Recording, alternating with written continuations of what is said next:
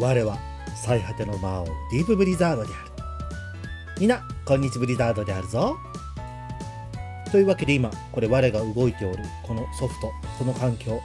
ライブ 2D という 2D のイラストをパーツに分けそれに動きをつけることでこんな風に生きている姿を皆にお見せすることができる機能なのである。今回はこのライブ 2D 触ってみたいな作ってみたいなと思う方きっと多いであろう。だけれどもどうやったらいいのであろう。難しそう。自分には無理なんじゃないのかの？と諦めている方も多いのではないであろうか。そこで今回この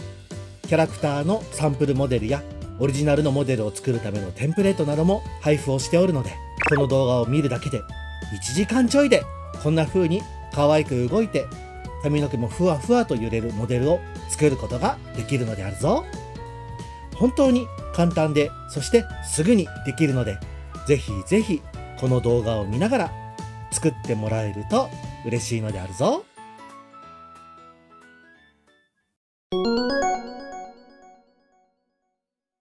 ではまずライブ 2D をモデリングするために必要なソフトライブ 2D キュービズムをダウンロードする方法を解説しようと思うのであるぞ。まずはライブ 2D の公式ホームページに飛び画面下にあるこのトライアル版をダウンロードするもしくは画面上部にあるライブ 2D を始めるをクリックしようするとアプリケーションをダウンロードすることができるので Windows、MacOS の Apple Silicon シリーズそして MacOS の Intel 版それぞれ自分の使っている環境をダウンロードしてほしいのであるぞ。マオは今これ Mac 環境の Apple Silicon を使っておるので、こちらの Apple M シリーズの使用許諾契約プライバシーポリシーに同意のチェックを入れて、で、初めてダウンロードする方は初めてダウンロードする。以前ダウンロードしたことがある方は最新版にするためのアップデートをダウンロードするにチェックを入れて、で、個人の方はここにメールアドレスを入れて、最新のリリース版をダウンロードしよう。そしてライブ 2D、ここに書いておる通り、トライアル版であれば42日間プロ版と同等の機能を使い作ることができるので、まあ、とりあえず初めて使ってみようという方まずはこのトライアル版で始めてみると良いであろう。でそれ以降もライブ 2D のモデリングをしたいな継続的にいろいろライブ 2D を勉強したいなという方はこちら画面上部にある購入するをクリックしてこちらのライブ 2D キュービズムプロを契約するサブスク契約をしてほしいのであるぞ。年間プランが1年目から2年目3年目と安くなっていくという結構独自のプランになっているのでこれから長く使うという方はもうこの年間プランを契約し続けると結果的にお得に使い続けることができるのである。とりあえず1ヶ月だけ使いたいな。もしくは使う時だけ契約したいなという方はこちらの単月プランというのもあるのでこちらを使ってみると良いであろう。あとは契約プランが切り忘れたら嫌だなという方はこの3年間プランというのもあるのでこういうのも使ってみると良いであるもうマオはもう長くこの年間プランを契約しっぱなしの状態で使い続けておるのである。ではそれらの状態でまずはアプリケーションをダウンロードしよう。ダウンロードすると2つのアプリケーションが入っていることに気づくと思うのである。Live2D キュービズムエディターそしてもう一つが Live2D キュービズムビューワーというものである。Live2D キュービズムでキャラクターをモデリングするという際には基本的にこちらの Live2D キュービズムエディターを使うのでこちらを起動しよう。完成したモデルを確認したいやモデリングに様々な機能をちょっと付与したいという時にはこの Live2D キュービズムビューワーも使うので削除などはせずに残しておくと良いのであるぞ。そして Live2D キュービズムエディターを立ち上げたのがこちらである。今回これダークモードという背景がこんな感じで黒ベースになっているものを使っておるのではあるがこれはキュービズムエディターの環境設定からここをダークにするのかライトにするのかを選ぶことができる。初期設定だと多分ライトになっていたと思うのでこの環境にしたいなという方はダークにした上でアプリケーションを再起動するとこのダークモードに切り替えることができるのである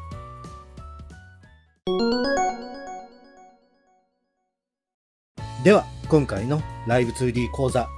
動くぬいぐるみうごぬいを作るために必要な教材を紹介しようと思うのであるぞ。今回はもうすでにパーツ分けが完了している PSD データを魔王のブースにて無料で配布をしておるのである。そちらからダウンロードしてもらえればこのような男の子のモデル女の子のモデル。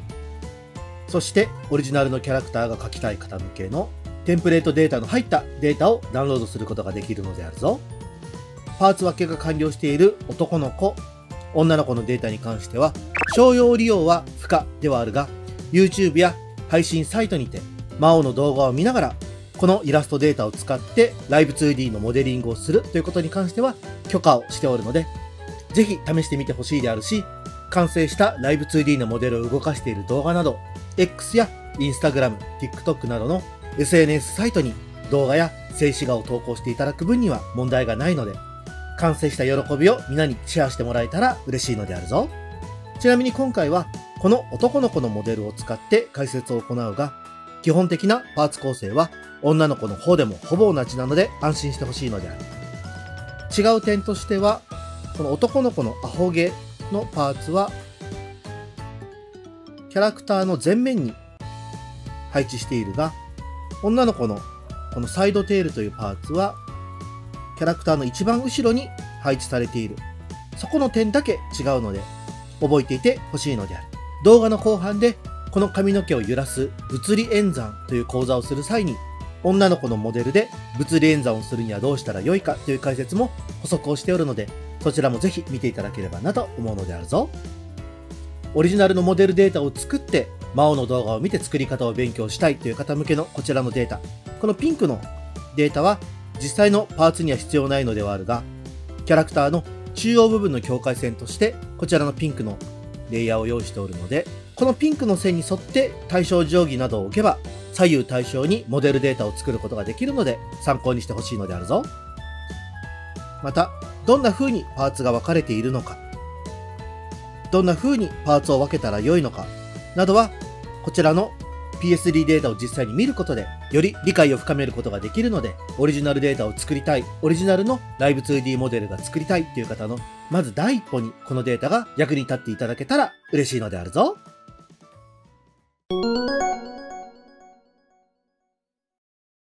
ライブ 2D キュービズムエディターを立ち上げたところで、今回用意したライブ 2D キュービズムのモデルデータを読み込ませようと思うのである。今回、素体として男の子のモデル、ウゴヌイボーイ、そして女の子のモデル、ウゴヌイガール。そして今これちょっと PNG になってるが実際には PSD データになっているウゴヌイテンプレートのモデルの3種類が今回用意されておる。今回はこの男の子をモデリングしようと思うので、ウゴヌイボーイをこのライブ 2D キュービズムエディターの画面に直接ドラッグドロップしよう。すると、この通りキャラクターが読み込まれた状態で画面上に表示されているのがわかるであろうか。さまざ、まなちょっとパーツやパラメータが見えておるが、まずはこんな風に読み込まれているということまでが確認できていれば大丈夫である。そして読み込まれたパーツというのは全てパーツが分かれているので、こんな感じでペイントソフトで見た通りのように、全てが別パーツになっているのが確認できると思うのである。ただ、この読み込んだだけの状態ではこのライブ 2D キュービズムエディターでモデリング、動きをつけるということが難しいので、まずは全てをメッシュ分割していこうと思うのである。いわゆるメッシュというのはこの1枚の絵をポリゴンのように分割するようなものだと思ってもらえれば良いのであるぞ。で、いろいろな分割方法はあるのだけれども、ライブ 2D キュービズムエディターにはこちらのメッシュの自動生成という機能があり、こちらがかなり高機能なので、初めての方から中上級者の方まで簡単にメッシュを分割しモデリングするための綺麗なパーツ分割をすることができるようになっておるのである。ではこちらをクリックしてそして分割したいパーツを選んだらプリセットの標準と書かれているものを選ぼう。するとこんな風に一つ一つがメッシュに分割されこの点をこうやって引っ張ると分割された点と点の間だけをこうやって動かすことができるメッシュというのに分割できるようになっておるのである。ちなみに画面の拡大縮小はホイールのスクロールやタッチパッドの2本指上下のスクロール等で動かすことができるので画面の拡大縮小したいという方は覚えておこう。またはこの画面の下にあるプラスとマイナスを押してあげれば画面の拡大縮小ができるであるし全体表示というのをクリックすればぴったりとこの書いてある画面全体を表示することができるので、全体を見たい、拡大したいという時にはこちらを押すと良いであろう。では、他のパーツも分割していこう。ちなみに、複数パーツをシフトキーを押しながら選んであげることで、今眉毛と前髪を3つ同時に選んでいる状態でプリセット標準にしてあげるとこんな感じで同時に分割することもできるので複数パーツを選びながら分割していくというのも簡単にできて良いであるよ。でこの目のパーツの中で今回まぶた目をこう閉じたりする時に使うパーツは綺麗に動かしたいのでプリセットの中にある変形度合い台を選択してあげよう。変形度合いを標準にするとこんな感じでメッシュの分割がかなり粗いというのがわかるであろう。普段であればこの標準とかで十分なのではあるが細かく動かしたり滑らかに動かしたいという時にはこの変形度合い台を選択してあげると良いであろう残りの瞳左白目左は標準で良いである同じように右目もまぶたのパーツは変形度合いを台もしこの変形度合いが台が見つからないわからないという時にはこの設定にあるこのパラメータをそのまま打ち込んでみると良いであろう。瞳右白目右は標準にしとくのである。とりあえずもうどうしようかなと悩んだら標準にしておくと良いであろう。そしてこの口のパーツパーツ分割のとこでも話した通りかなり大きく動かすパーツではあるので変形度合いを大にしてより細かくしたいのでこの点の間隔外側点の間隔内側それぞれのパラメータを10にしてほしい。キーボードで打ち込むとこんな感じになるのでこれでかなり滑らかに動かすことができるようになるのである。今回多分一番滑らかに動かしたいパーツがこの口のパーツになるので少し面倒ではあるがこの点の間隔外側点の間隔内側のパラメータをこうやって変更してあげよう。口下のパーツも変形度合い大にした後にそれぞれのパラメータを10にして10にした後に必ずエンターキーを押してあげよう。そうしないと適用されないので注意してほしいのである。これで口のパーツがそれぞれかなり細かく分割されたというのが分かったであろうか。校内に関しては標準に分けておけば OK である。こんな感じで見えておらんが口の中はちゃんと分かれておるので安心してほしいのである。残りの輪郭胴体腕左腕右後頭部に関しては標準で分割すればよいので標準を選択しよう。これで全てのメッシュ分割が終了したのである。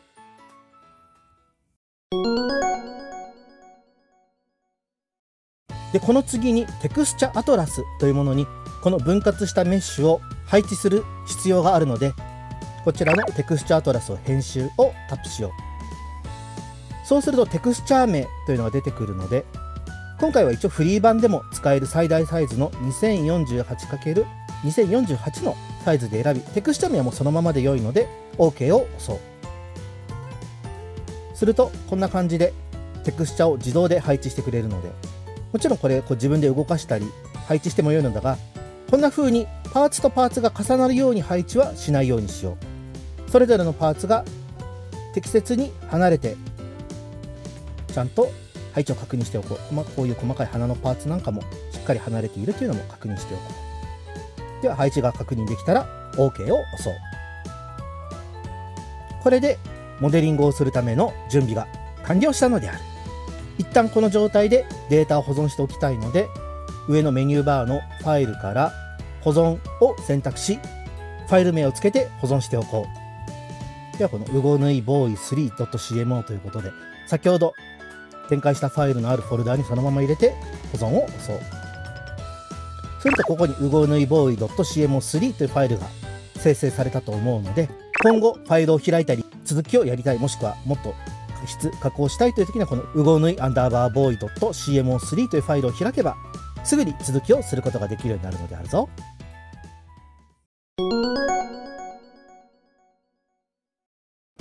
ではライブ 2D モデリングを実際に始めていこうと思うのである。まずは目の動きをつけていこうと思うのだがこの瞳のパーツ。このまま動かすと当然ながらこんな感じで白目や瞳のパーツからはみ出してしまうようになってしまう。それを防ぐためにクリッピングというのを行おうと思うのである。この瞳の左を選択している状態でインスペクタという項目のクリッピングという項目があると思うのでそこの横にあるこのリストのアイコンをタップし白目左を選択しよう。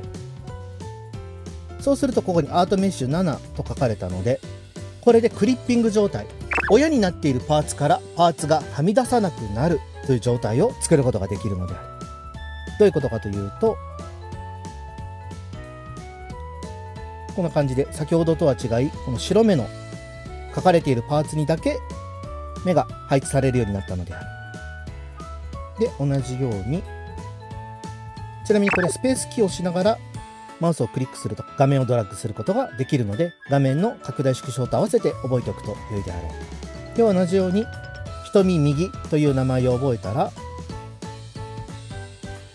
クリッピングの白目右をタップしよう。白目左と間違えないように瞳右は白目右。瞳左は白目左にそれでクリッピングするように設定しよう。これで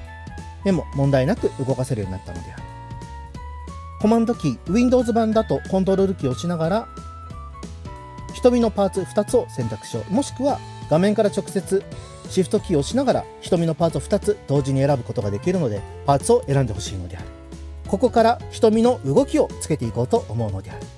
そのためには目がどんな風に動くのかどれだけ動くのかどの方向に動くのかというキーを打つ必要があるのでパラメータという項目のこの目玉 X を選択している状態そして瞳左瞳右を選択している状態でキーの3点追加というアイコンをクリックしよう。すると先ほど選択していたパラメーターが緑色の丸がついた状態になったと思うのであ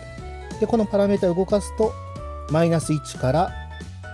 プラス1まで動かすことができるという状態になっておるのである。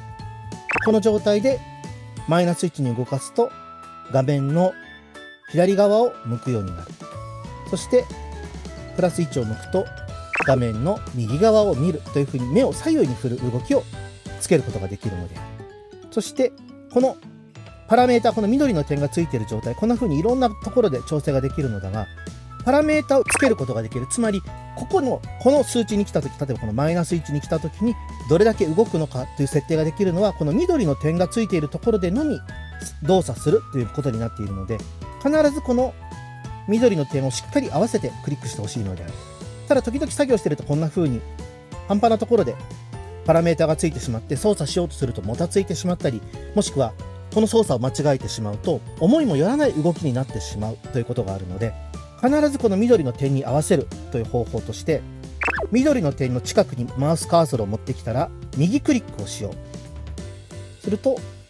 近くの点にこうやってマウカーソル合わせてなくてもぴったり合わせる必要はないので右クリックを押すと近くのパラメーターにこんな風にパッとカーソルが寄ってくれるのでこのパラメータをきちっと選びたい時にはもう右クリックをするというのを覚えておくと良いであろう。ではパラメータマイナス1この左の方のパラメータに寄せたところでこの矢印ツールというのが選択されていることを確認しよう。デフォルト何も触っていない状態であればこの矢印ツールになっていると思うのでこの状態でこのマイナス1の時にどれだけ動くのかというのをシフトキーを押しながらこうやって押してあげると。で左右同時に動かしてあげられるので。で左目がちょっと食い込むぐらいのところで止めておこう。これでどうなったかというとこんな感じでもうこれだけで目が動けるようになったのがわかるであろうか。で今さっき選んだ目をもう一回選びたい時にはこの左目 X というパラメータを選んでいる状態で選択というのが出るので選んであげるとこの目玉 X のパラメータをつけているパーツだけをこうやってまた選んでくれるので今度はマイナス1に同じように動かしてつけてあげよう。こうやって直接動かしてつけてもよいのだがぴったり同じ形にしたいという時にはまず左の方に動いた目を選択している状態でパラメータの3本線のメニューから動きの反転というのを選択しよう。そしてアートメッシュ瞳左アートメッシュ瞳右が選択されている状態で水平方向に反転というところに選択されている状態でそしてこの時キャンバスの中心をしようと書いてある通りキャンバスのちょうど真ん中から反対側に動かすっていうパラメータになるのでパーツを用意するときにキャンバスの中心を置きながら左右対称に作ると良いといったのはこういう時に役に立つのである。ではこの状態で OK を押そう。するとこんな感じで目の左右が簡単に作れたのである。もうこれでかなり簡単にパーツが動かせるというのが分かったであろうか。では同じように瞳の左右を選んでいる状態で目玉 Y 瞳が上下に動く動きをつけていこうと思うのである。同じようにパラメータの上のメニューからキーの3点追加を選択し今度はマイナス1になると下を向きプラス1を向くと上を向くという動きにしたいのでマイナス1の時に下を向く動きをつけプラス1の時は、まあ、これ動き反転をしても良いのだが上の目ってあんまり実はそんなに向かなくても向いたように見えるのでちょっと少なめに動かして。おこうこれで目を上下に動かすことができるという動きを作れた。動きの反転をつけたい場合は動きの反転を選んで今度は垂直方向に反転。上下に反転するよっていう動きを OK をしてあげるとこんな感じで上下にも動きがつけられるので、まあ、今回どちらでも良いのではあるがあんまりギョロギョロした動きになると実は動かした時に可愛くない動きになるので可愛いキャラクターにしたいっていう場合はほんのちょっとにしか見えないけれどもこの左右の動きで十分キャラクターが上下左右を向いているように見えるので。でこのパラメータをこうやってつけた後に必ずデフォルト設定値に戻すっていうのをしといてあげよう。でこれで上下左右に動くようにできたのだが実はまだ滑らかに動かすという設定ができていないので簡単に滑らかにぐるぐると好きな方向を向くことができる目を作る方法を教えようと思うのであるぞ。こちらのパラメータの横にあるこの鎖のアイコンがあると思う。これが結合というパラメータで目玉 X を選択している状態そして左右の瞳を選択している状態で目玉 X のこの結合のアイコンをクリックしよう。すると目玉 X と目玉 Y が1つのパラメーターとして認識されるようになったのである。なのでこうやってぐりぐり動かすと。あなんか目がちゃんと動くようになったと思いつつこの四隅の角斜め上や斜め下を見ている時の目の動きが実はこれ不自然な状態になっているのでちょっと今ガクンガクンした動きになっているのがわかるであろうか。なので左右の瞳を選択している状態で四隅のフォームを自動生成というのを選択しよう。パラメータ1パラメータ2の目玉 X 目玉 Y が選ばれている状態でこの四隅が上書きされるというのチェックが入っている状態で OK を押そう。これでちゃんと斜め上や斜め下を見た。自然な動きを作ることができるようになったの。でこれで目の動きがちゃんと好みの動きになっているかも確認しておこう。これでまずはライブ 2D の大事な要素パラメータをつけて動かすが無事覚えられたのであるもちろん最初は難しいと思うのでこの講座の中で何回も出てくるものなので動画を繰り返し見たりしながら覚えていってほしいのであるぞ。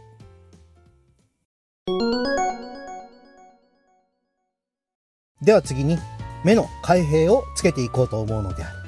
目の開閉をするためにはまぶたと白目を使うので綺麗に閉じる方法を覚えていこう。そして新しいツールを使うので覚えてほしいのである。まずはまぶた左を選択した状態で変形パスツールというのを選択しよう。この状態でこのまつげのこのラインがあるのでここに5つ点を平均的に打ってみよう。といってもまあ大体こんな感じでまぶたの真ん中に5つ打っていれば OK で打った点の調整をしたい時には点の中心をこうやって持ってくるとこうやって動かして調整してあげることができるので。これでまず変形パスツールというのを使うことができたのでこの状態でちょっと矢印ツールでこの緑の点を触ると。こんな感じでぐにゃぐにゃと滑らかに変形することができる。これを使うことで閉じた目をきれいに作るということができるようになるのである。そこまで複雑な動きは今回しないんだけれども覚えておくと良いであるぞ。ではその状態で左目開閉のパラメーターに今度は2点。この3点の横にキーの2点追加というのがあるので打つと。こんな感じで0から1という2つのパラメータを作ることができた。でこうやってデフォルトの設定値に戻すと分かるのだがデフォルトの設定が1つまりは目が開いている時が1目が閉じると0になるという動きをつけたいということになるのでこの0の部分に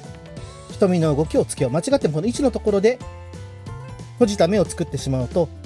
デフォルトで目を閉じているというキャラクターになってしまうので気をつけてほしいのである。では左目の開閉を選択した状態でこの囲まれた枠の中心を矢印ツールでぐーっと下に下げてこのぐらいかな？下げてあげようそうしたらこの緑の点を少しだけ動かしてまぶたを閉じた時に少しだけこの目の幅が小さくなると自然な閉じた目に見えることができるのでまぶたが閉じる形は作れたが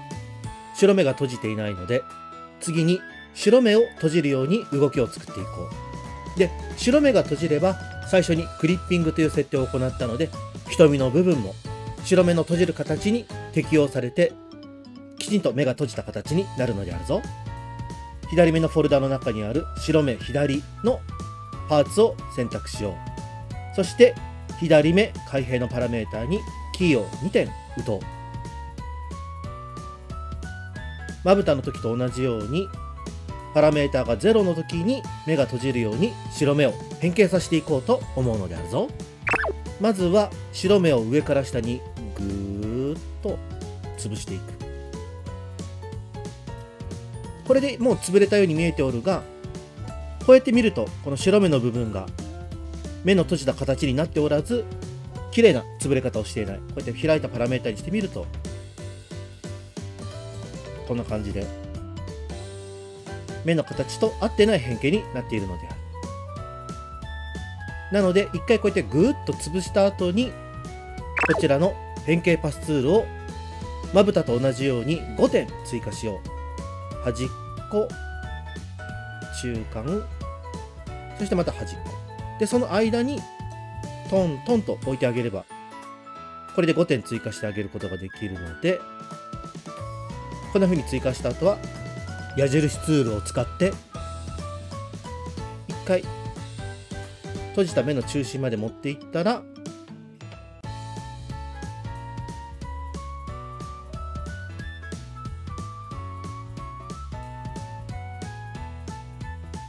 こうやって目の中心に閉じたラインがあるように設定してあげればこれで動きを確認してみよう。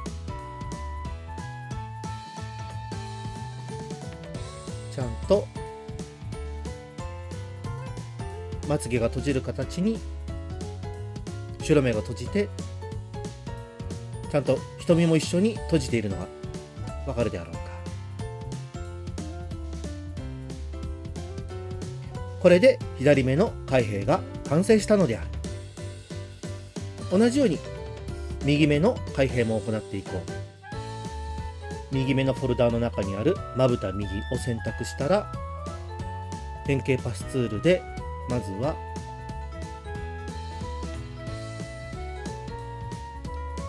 5点線を追加してあげよう。今はこう順番にトントントンと押していったがさっき白目でやったようにまず大きな点として端中心端の3つを選択した後にこの点と点の間をクリック点と点の間をクリックして点を追加してあげて調整をするという方法もできるのであるぞ。変形パスツールを打ち終わったら右目開閉にキーを2点追加しよう。そしてパラメーターが0目が閉じたというパラメータの時にこちらの右まぶたのパーツも閉じた目の形にしてあげよう。矢印ツールを使ってまずはぐーっとシフトキーを押しながらだいたい同じ位置になるように下げてあげてで変形パスツールの点を触ってあげながらだいたい同じ位置になるように調整をしてあげよう。でこの時にあんまりその厳密にやりすぎるともうあんちょっと合ってないずれてるっていうのを気にしすぎていると作業が進まないであるし、まあ、このぐらい合っていればほぼほぼ閉じた時に同じように見えるのであまり気にしなくても良いのであるぞ。右目のまぶたのパラメーターがちゃんとついたので同じように右目の白目も右目の開閉のパラメーターにキーを2点打ちパラメーターが0目が閉じている時に左目でやった時と同じようにぐーっと潰してあげよう。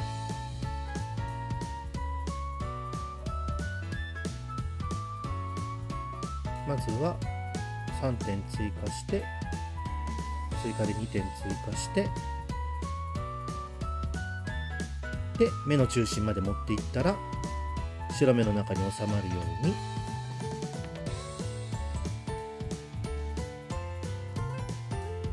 パラメータを動かして置いてあげたら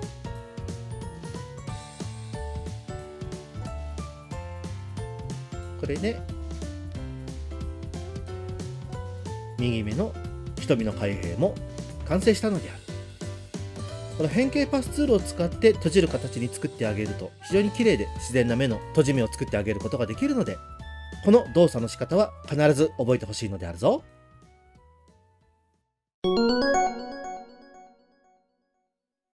では次に眉毛の上下を設定していこうと思うのであるぞ。まずは眉毛左のメッシュを選択しよう。選択をしたら左眉上下のパラメータを選択して3点キーを追加しよう。キーを追加してマイナス1になった時には眉毛が下に下がりプラス1になった時には眉毛が上に上がるという風に動きをつけようと思うのであるぞ。まずはマイナス1を選択して今回はキーボードを使って動きをつけていこうと思うのである。シフトキーを押しながらキーボードの下を1234 4回押そう。押したら動きの反転を選択して垂直方向に反転を選択して OK を押そう。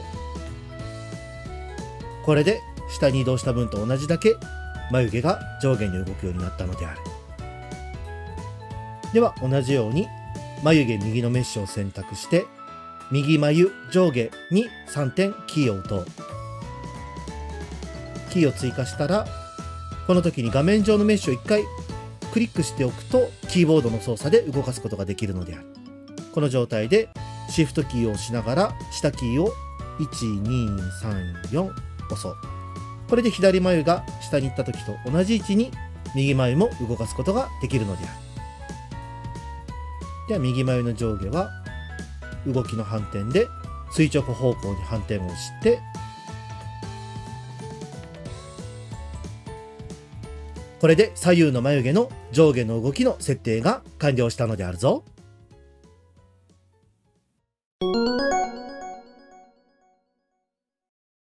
では次に口の開閉を行っていこうと思うのである。口の開閉で使うパラメーターはこのフォルダ口の中にまとめて入っている3つのパーツ口上口下口内この3つを選択した状態で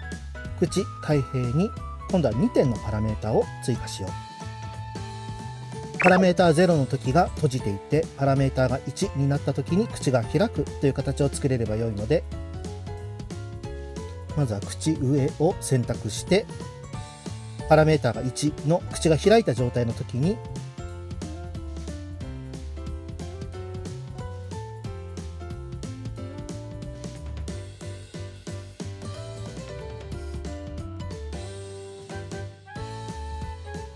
こんな感じでだいたい等間隔に5点打ったら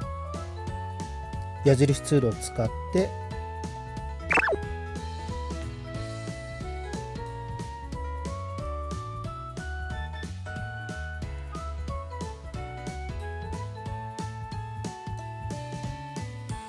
を少し開いた形にしておこう。分かりづらかった場合は、この口下、口内を非表示にして、ちょっと上の口が開いたような形にすると良いであろう。で、少しだけ上に持っていってあげる。こんな感じ。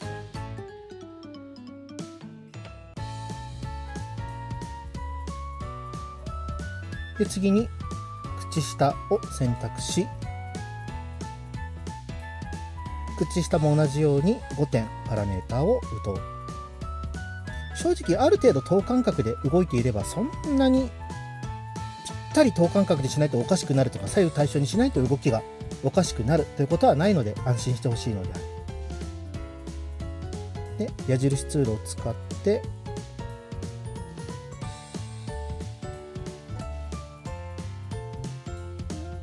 口を下に持っていって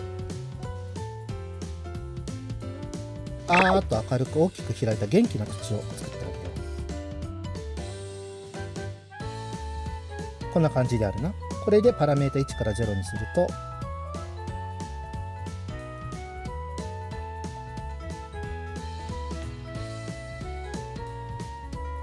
こんな感じで元気にパクパクしている口が作れたのである。ただ次に口内を選択して口の中がちゃんときれいに開くように縦に伸ばしてあげて。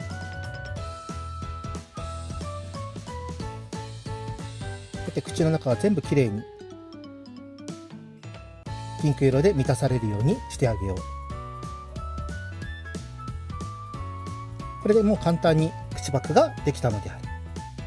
もちろんこの状態のままでもよいのだがちょっとこの初心者でもいい感じにモデルが作れるような設定というのをお教えしようと思うのである。まずはこの口の開閉で使ったパラメータを選択、まあ、つまりはこの口上口下口内のパラメータを選んでいる状態でパラメータの上のキーを手動で編集しますという項目をクリックしよう。するとパラメータの点を設定することができる項目に来るので0.3の部分にクリックをすると0、0.31の3つに今この口の3つのパーツにパラメーターが追加されたことになるのである。この状態で OK を押してこの0.3うっすらこうやって口が開いてる状態のとこにまあパラメータができたわけだがなんでかっていうと口ってこんな風にあのパペット人形みたいにパクパクとまっすぐ開くってしないんであるよ。ゆっくり口を開こうとする。もしくは小さく口を開こうとすると、こう、ちょっとおちょぼ口になるというか、ちっちゃい「お」の形になると思うのである。なので、この0.3の部分の口の形を「お」の形に変形してあげよう。やり方は簡単で、こ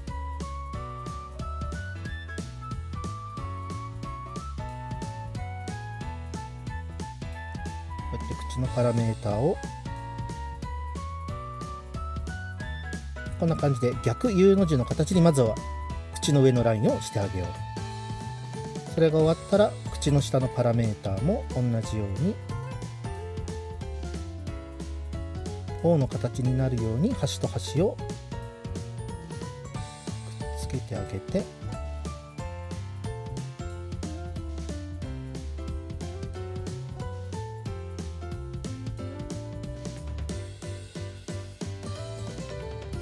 方の形にしてあげよう。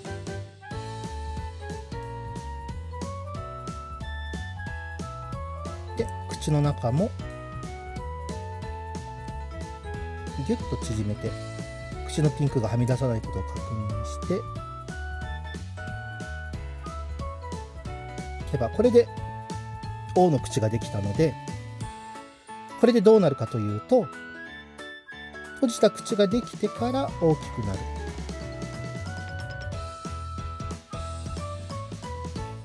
ちょっと開いた口ができて大きく開くという項目になるので非常に自然な口が動くという動きをつけることができるようになったのである。ここまですると顔の中で動かすパーツというのが全て設定することができたのである。いやおめでとうなのである。そしてこのライブ 2D の中でも大体大変な部分がこの目の開閉と口の開閉なのでここまでできてしまえばもうライブ 2D の大変なところは乗り越えたと言っても過言ではないのでまずは一安心しておこう。そしてデータの途中保存はとても大事なのでなのでファイルの保存はこまめにしておこう。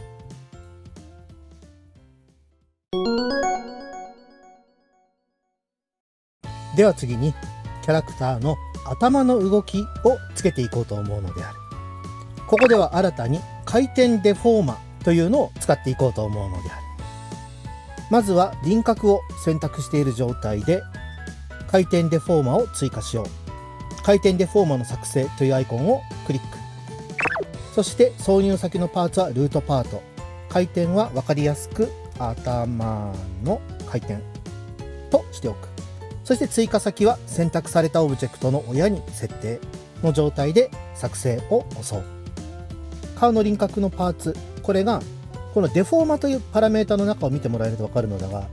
この頭の回転デフォーマの中に輪郭が入ったのである。なのでこの頭の回転デフォーマを選択している状態でこの矢印のこの先端の部分を見るとこんな風に矢印が左右に傾けるっていう形に変わるのでこの状態で回転させると顔の輪郭だけがまあくるくる回る状態になったのである。まあ、これだとちょっと頭の動きとしておかしいので顔に関わる全てのパーツ、まあ、なので胴体腕左腕右以外後頭部のパーツは入れておくコントロールキーもしくは Mac だとコマンドキーをしてこんな風に選択した状態でこのデフォーマの項目でドラッグして頭の回転の中にこうやって赤くハイライトされるので入れよう。そうするとこの頭の回転デフォーマの中に頭に必要なパーツが全部入ったという状態になるのでさっきと同じようにこの回転デフォーマーを選択した状態で頭を動かすとこんな感じで顔のパーツが全部入っている状態で動かすことができるようになった。この状態でもちろん目は動くし閉じたり口の開閉もできるようになったのである。ただまあ見てわかる通り頭の回転このままだと頭が回転というよりもなんか体と頭が離れてくるくる回っているようなちょっとまあいびつな回転になってしまうのでこの頭の回転をする中心点を変更しようと思うのでこの時計の針のようになっているこの中心点このパーツを変更したいので中心点を選択して矢印ツールのカーソルが白に反転して四角のアイコンがついている時にコマンドもしくはコントロールキーを押してドラッグをするとこうやって中心点を移動することができるのでプラスでシフトキーを押してまっすぐ垂直に降りるようにして口と顎の間ら辺で離す。これで回転をすると首が回転しているのがより先ほどよりも自然になったのが分かったであろうか。これでここまで設定をしたらこの頭の回転デフォーマーを選択している状態で角度 Z に3点パラメータを追加しよう。これは頭を横に傾けるという時の動きにつけるのでこれまでと同じようにマイナス30これマイナス30からプラス30という動きになるのでマイナスの30の時にまあ大体30度ぐらい傾けたら動いているように見えるかな。でこれはインスペクターの角度からマイナス30っていうのを入れることができるのでここマイナス30度にしておく。でこれまでやってきたのと同じようにパラメータの動きの反転で水平方向に反転をしてあげるとこっちに30度こっちにマイナス30度動かすっていう動きがこれでできたのである。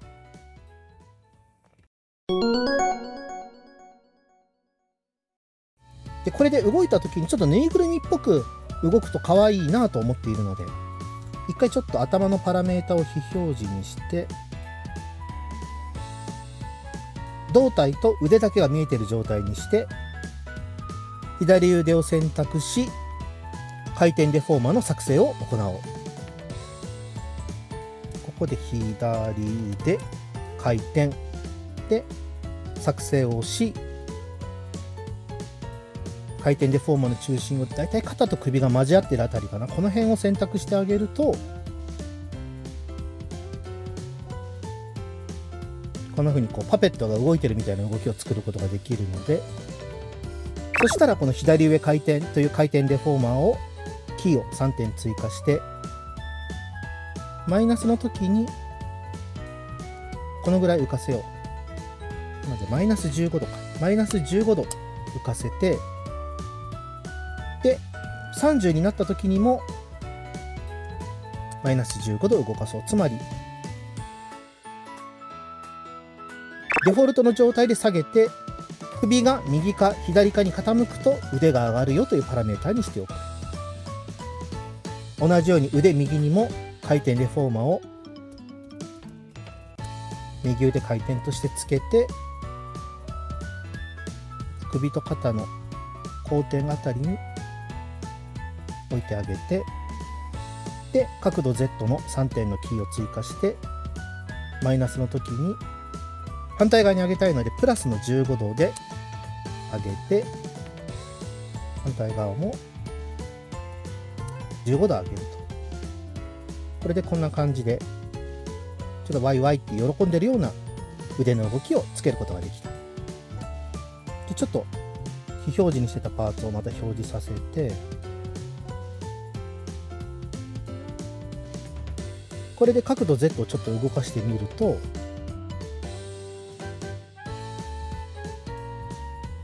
こんな感じでワイワイと動いているのがわかるであろうか。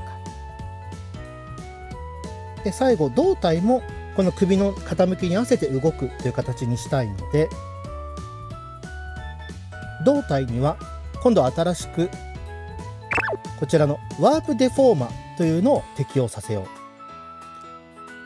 胴体のメッシュを選択している状態でワープデフォーマの作成を押し胴体の曲面としてルートパートに作成を押そう。すると今度はこんな感じの緑のフレームが出てくるがこの緑のフレームの各点をこうやって触ってあげると全体をこんな風にぐにゃんと滑らかに変形することができるようになるのである。でこの状態で今この頭の回転のパーツの中には頭のパーツ全部左上回転の中には左腕右腕の中には右腕が入っている状態になっているのでこの胴体のワープデフォーマーの中に頭の回転デフォーマー左腕の回転のデフォーマー右腕の回転デフォーマー全てを入れた状態にしておこう。こうすることで何が起きるかというと胴体を曲げてあげるとこうやって頭や腕も同時についてきてあげるよっていう動きを作ることができるので簡単にこう胴体と体がこう馴染んだ動きをつけてあげられるようになるのである。なので胴体の曲面のワープデフォーマーこの緑色に選択されていればワープデフォーマーが選ばれている状態になるので角度 Z にワープデフォーマーのキーを3点打とう。で同じようにキーがマイナス30になったら左肩を上げて右肩を下げて中心をちょっと斜めに動かす。こういう形を入れてあげよう。で足もちょっとだけ上がったよって形にするとちょっと足踏みしてる風で可愛くなるので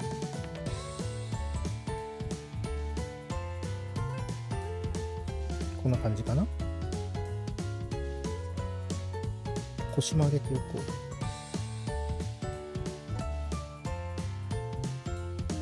う。で反対側の腰はちょっと下げて。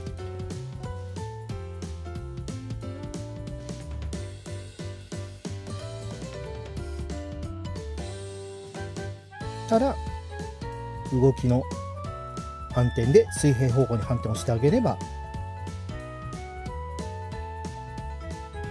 こんな感じでキャラクターが横に傾くと斜めにワイワイと動いてくれるというパラメーターができたのである。でこの状態で今度はこの胴体の曲面のワープデフォーマーを押している状態でこの胴体の曲面に新しいワープデフォーマーを1個作ろう。この状態で胴体の Y 曲面というのを作って作成をしてあげよう。でこうパラメータの中としては胴体 Y の中にこの胴体の Z のこの曲面が入っていてで頭の回転腕の回転がそれぞれ入ってその中にはそれぞれのパーツが入っているよという状態になっている。でこの Y 曲面というのは今度は体を上下に動かすという動き、まあ、しゃがんだり伸びたりっていう動きを作ることができるので角度 Y にキーを3点打ちマイナスの時にしゃがんでプラスの時に上を向くという動きを胴体につけてあげようまずはマイナス30に設定している状態で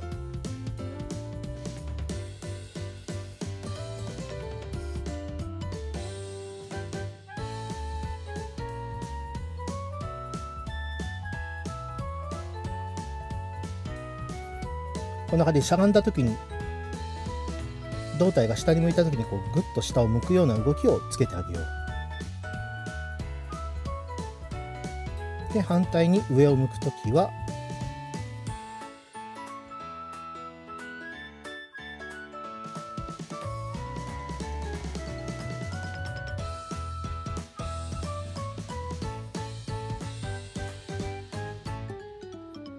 ぐっとお腹が上を向くように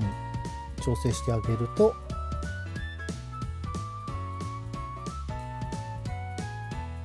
こんな感じで体を伸ばしたり縮めたりという動きがけられるようになるのであるぞ。でちょっとこの状態でどんな風に動くのかというのを確認してみよう。画面右下にあるこの動きを再生するというボタンがあるのだがその横でポージングというのを設定してあげた状態で再生ボタンを押すと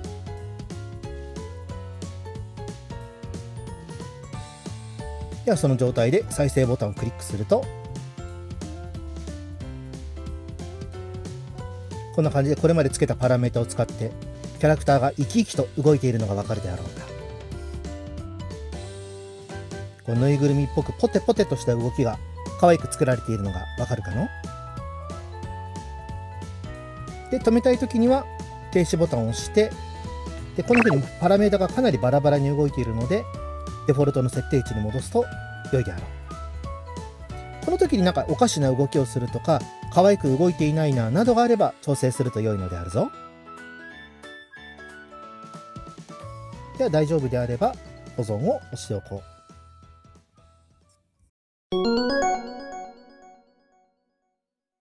ではではキャラクターに動きをつけたところでより自然に動いたりリッチな動きに見えるための物理演算というのを実装していこうと思うのである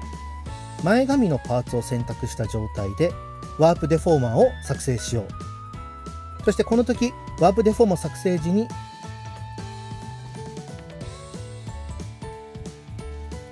前髪横揺れの曲面と名前を付けてベジェの分割数はこれまでデフォルトの 2×2 だったのだが少し横の分割数を増やしたいので 2×3 にちょっとこうやって数値をドラッグして増やせるので 2×3 のパラメータにして作成を押そうで紙揺れにはもう実は紙を揺らすためのパラメータというのが事前にこうやって用意されているので紙揺れ前の部分にキーを3点打とう。で同じようにマイナス1の時には左に髪の毛が揺れるような形にしたいのでパラメータを使って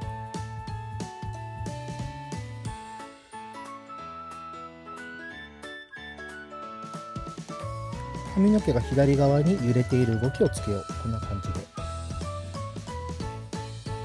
でで動きをつけたら動きの反転をしてあげて水平方向に反転にチェック入れて OK を押そうこれで髪の毛が左右に揺れる動きをつけたのである同じように後頭部にも揺れのデフォーマーをつけてあげよう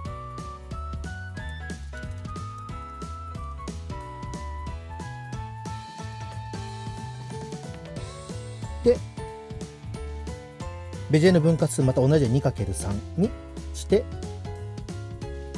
はみ揺れ今度は後ろを選択してキーを3点つけてあげよう。で、同じようにマイナス1の時に後頭部の髪の毛が左上にクッと上がるよう。にずらしてできたら動きの反転をつけて。後ろ髪が揺れているにしよ。女の子の場合も同じように前髪と後ろ髪をこんな風に揺らしてあげると良いであろう。でこの頭についているこのアホ毛のパーツ。これも別パーツになっているのでこれも動かすと可愛くなるので動きをつけてあげよう。まずはアホ毛を選択している状態でワープデフォーマーをつけてあげてこれは分割は 2×2 でいいかな。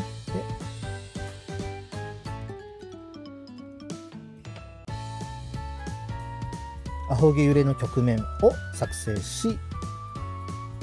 これはもう髪揺れ横に適用させてあげよう。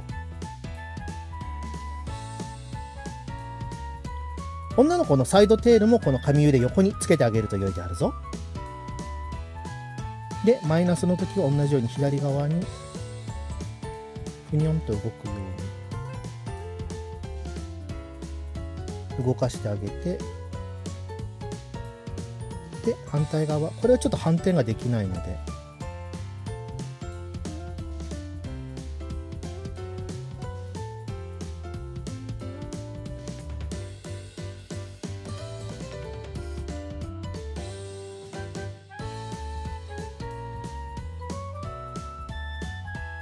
こんな感じでぴょんぴょんとした動きができていれば良いであろう。そして今回上下にうつむいたり顔を上げたりする動きがつけることができるのでその時にも動く揺れをつけてあげたいのである。なのでまた前髪を選んであげて新しくワープデフォーマーを作り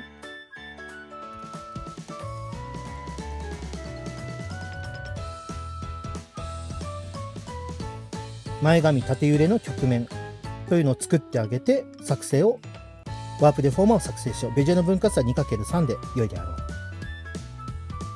ただもう追加するパラメータがないどうしようという時にパラメータは実は自分で作ることができるのでこのパラメータの下にあるプラスボタンを押して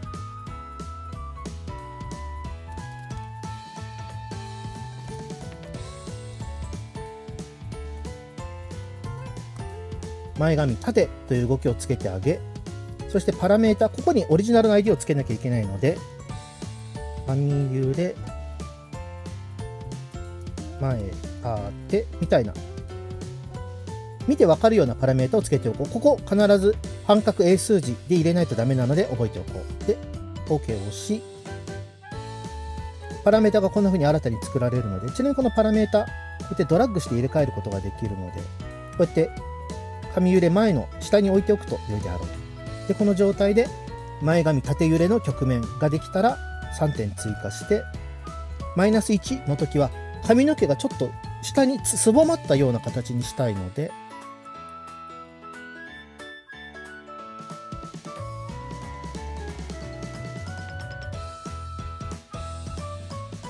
こんな感じ。キュッと下にすぼまった動きにして。で次1になった時には上にふわっと開くような形にしてあげよう。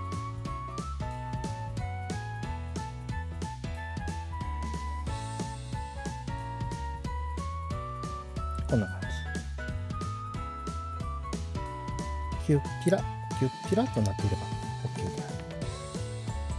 る。で後ろ髪も用意してあげよう。後頭部をまた選択した状態でワープデフォーマーを作り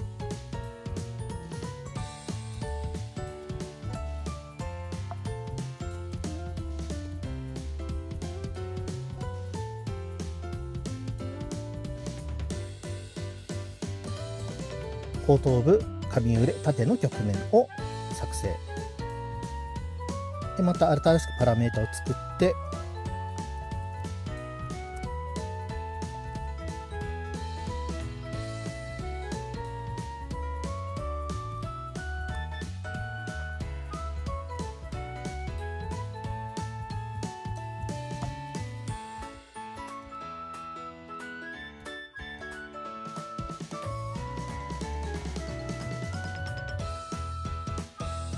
網揺れ後ろ縦というパラメータを作って範囲はマイナス1からプラス1で OK を押す。で紙揺れ後ろの下にパラメータを置いた状態で後頭部紙揺れ縦の曲面のパラメータを3点打って同じように下がマイナス1の時は髪の毛をちょっとすぼめる動きを作る。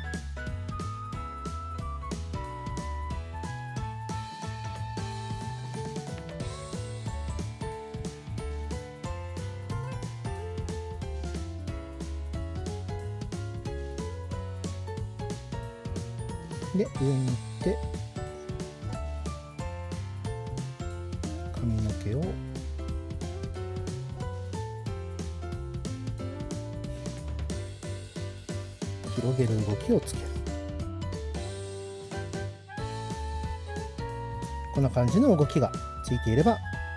これで髪の毛を物連山で動かすための下準備が完成したのであるで物連山は別のウィンドウでしなくてはいけないのでその手順もしっかりと覚えておこうその前に保存しておくかでは女の子の髪の毛の揺らし方を解説していこうと思うのであるぞ。まずは前髪は分割数を縦を4つに分割しているのである。男の子よりも髪の毛が長いので。これでまずは前髪の揺れの向かって左側に揺れるブラシをつけていく。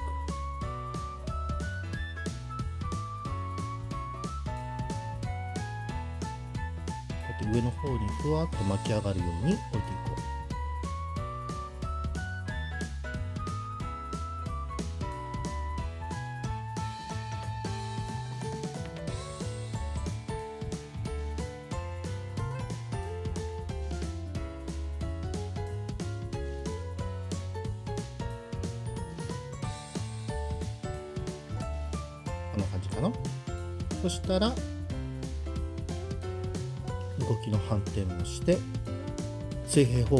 方向に反転を設定して OK 入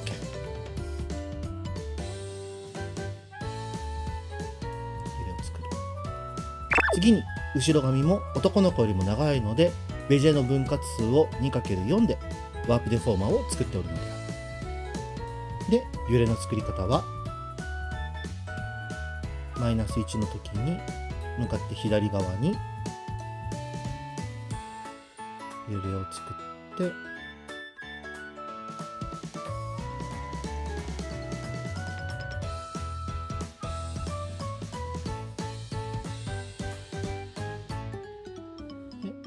で動きを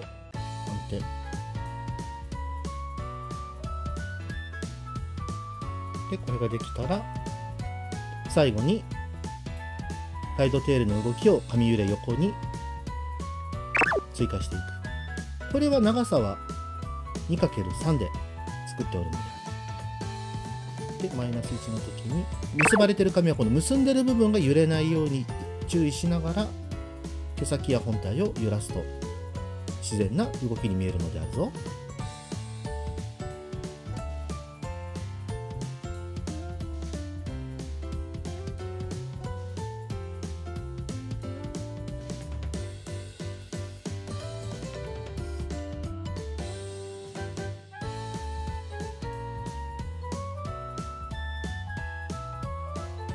でこれは左右対称ではないので反転は使わずに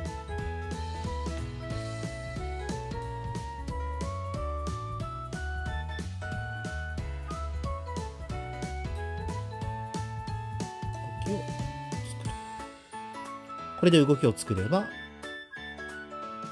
こんな感じで動く髪の毛ができた後の物理演算の設定の仕方などに関しては男の子の物理演算の設定とし設定の仕方と同じようにやってもらえれば良いと思うのであるぞ。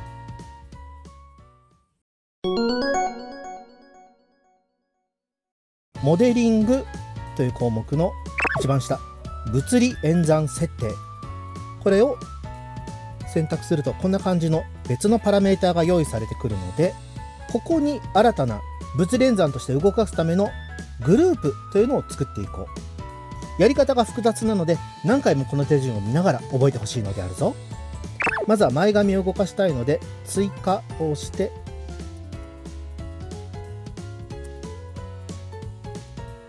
前髪横揺れ入力のプリセットとりあえず頭入力髪長いの状態で OK を押そう。ちょっとなんだかいろんなパラメータが出てきたのだが次はこの前髪横揺れというパラメータのどの動きをつけるのかというのを設定してあげるので出力設定に追加を押して髪揺れの前前髪の部分を OK して選んであげよう。これで今髪揺れ前というパラメータさっき髪の毛の前髪を横に揺らす動きをつけてあげることができたので一回また入力設定に戻ってこの状態でちょっと角度 Z のパラメータを揺らしてみよう。わかるかな？髪の毛ちょっとふわっと動いているのがでまだ動きがちょっと弱いのでいらないパラメータをこのここのパラメータ入力のパラメータを消してしまおう。パラメータを選んだ状態で削除を押して角度 Z の角度の影響力を100にするとさっきよりもちょっと動くようになったんだがここを 1x に切り替えてあげるとこの種別を 1x に切り替えるとさっきよりもだいぶ不安不安動くようになったのがわかるかな？この角度の Z の位置が大きく動けば動くほど髪の毛が大きく揺れるよっていう設定になったので。これで前髪をふわふわと揺らすことがもうこれでできるようになったのである。で同じように新しいグループを作り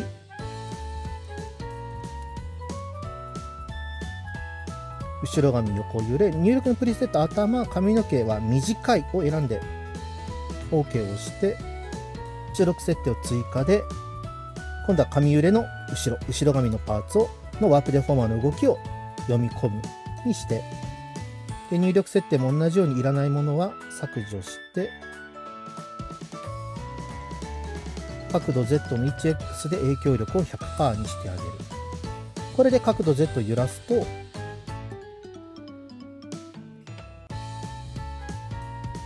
前髪とはまた違うこうふわんとした動きになっているのがわかるであろうか。で髪の長さをこの物レンダーのせた髪の長さを変えてあげるとよりよりがふんわりするので長さを1 0センチにしてあげるとちなみにこの前髪の揺れだと長さが15センチになっているのでかなりふわふわとした動きになっているのではあるが横揺れは10センチなので前髪よりは揺れが早く収まるように設定されておるのでこのようにちょっと動きがずれるとすごいこう自然な可愛い髪の毛の動きをつけてあげられるので覚えておくと良いであるぞ。ではまた新しいパラメータを追加して今度はアホ毛を動かしたいのでアホ毛揺れで入力は頭。とりあえずは髪の毛短いでいっか。で OK を押して出力設定の追加をまた今度アホ毛にしたいのでアホ毛を設定したこの髪揺れ横を選んであげて OK を押そう。でいらないパラメータを。これまでと同じように設定をしたらまた角度 Z をちょっと動かしてみて。青毛は多分髪の毛の長さこのぐらいでも可愛いかな。プルンとこう動いてアクセントの効いた動きになっていると思うので。で今度は髪の毛の縦の揺れを追加したいので追加。前髪の縦揺れ頭入力髪は、えっと、長いにして OK で出力設定を髪揺れの前髪縦を選択。そして OK を押そう。で入力のところをとりあえずいらないものも全部消しちゃってよいので追加で角度 Y で OK で 1x で影響力を100これで角度 Y を動かすとこんな感じで下に下げると不安とこう。上下の動きでふわふわと動くようになったので。あるで最後に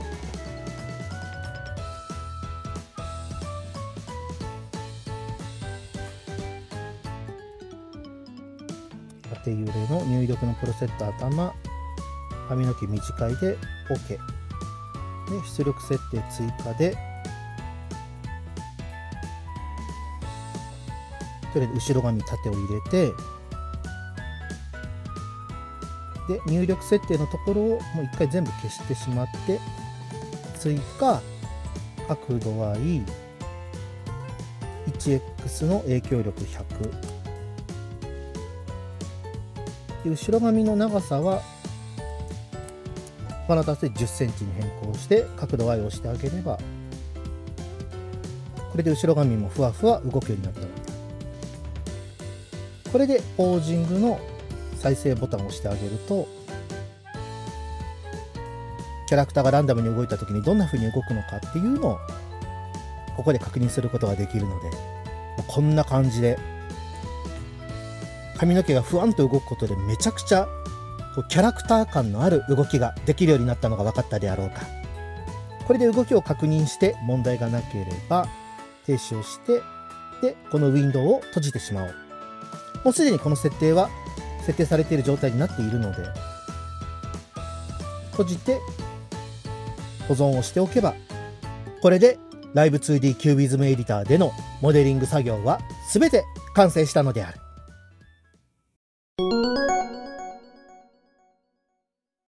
ではここから VTube Studio というライブ 2D キュービズムで作成したモデルをカメラなどで動かすためのアプリケーションに持ち出すための書き出しを行おうと思うのである。やり方はファイル組み込み用ファイルの書き出し MOC3 ファイル書き出しを選択しよう。そうするとここにいろんなバージョンというのが出てくるので今回 SDK5.0 キュービズム5.0対応。VTube スタジオは対応しておるのでここで OK をしてそれぞれの必要な設定は基本デフォルトのままで良いので OK を押そう。でどういうファイルにするのかというのにしたいので書き出すためのフォルダを作成しよう。保存する時の横にフォルダがあるのでここでうごぬいアンダーバーボーイというフォルダを作って保存を押そう。すると書き出し作業が終わって、うごぬいボーイというフォルダの中に、この通り一通りのファイルやテクスチャーデータ、物連算のデータがまとめて書き出されたのである。これでこのうごぬいボーイというフォルダの中に、データが書き出されている状態になっているのである。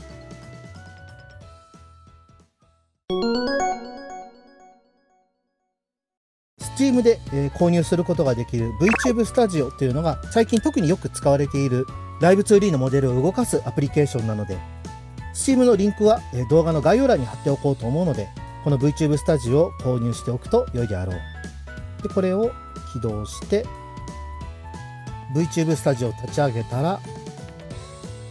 VTS モデルを変更をクリックして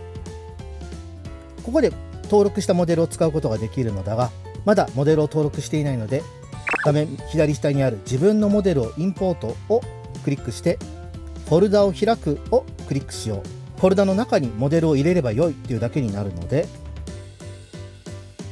先ほどこの書き出しで必要なファイルが全部入っているうごぬいボーイのフォルダをコピーして貼り付けよう。そして OK を押したら VTS モデルを表示。これ何回か押してあげると出てくるのでこうするとうごぬいボーイキャラクターのリストが出てくるのでこちらをタップしよう。それでまず最初は自動セットアップをしますかと出るのでセットアップをしておこう。OK これでモデル自体が読み込めて我は基本的に iPhone 版の VTube Studio を使って iPhone のトラッキングデータをパソコンに送信しパソコンで動いているように見せるという方法をやっておるのでその方法も解説しようと思うのである。設定からスマホ接続設定というのがあるのでサーバーを起動していることを確認したら IP を確認しておこう。でその IP を iPhone 版の VTube Studio を立ち上げて同じ IP アドレスを入力しよう。入力が完了したら PC と接続するをそれぞれにチェックを入れると。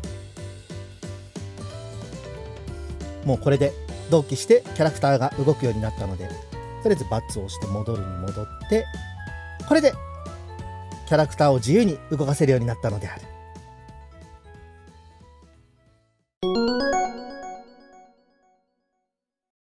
これでついにもこうやって自分で動かすことができる。動くぬいぐるみうごぬいができたのである。目や口胴体の動きもしっかり動いておるか確認しておこう。こんな感じで難しいと思っていたライブ 2D のモデリングも一つ一つ手順を踏んでいけば初めてだけどこんなにしっかりと動かすことができるというのが分かったであろうか。初めてなのでうまくいかない難しい。説明書通りにやったけどうまくいかないなという時は何度も動画のコーナーコーナー一つ一つを確認してどの項目で自分がうまくいっていないのかどうすればうまくいっていて自分がうまくできていないのか比較をすれば必ず解決ができるので時間がかかっても良いので一つ一つ試してみてほしいのであるぞ。ではではなのである。動画のご視聴誠にありがとうなのであった。よければチャンネル登録、高評価をしていただけると嬉しいのであるぞ。